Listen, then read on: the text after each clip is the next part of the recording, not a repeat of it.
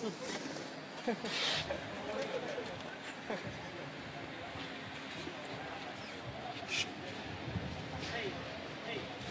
cao giá tạ mức 6, trọng lượng tạ trên sàn 135 kg. Cử lần thứ hai, mời vận động viên Nguyễn Bách Khoa của đơn vị Hà Nội lên sàn. Nguyễn Văn Phúc chuẩn bị.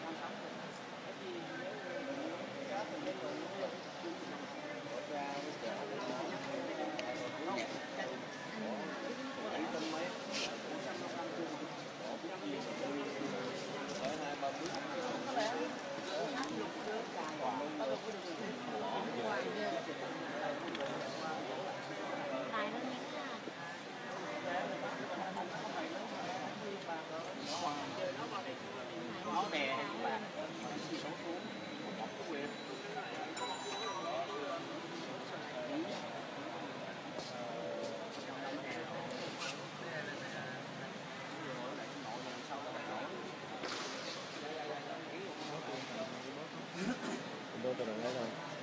Được không nhỏ? Nhỏ chứ.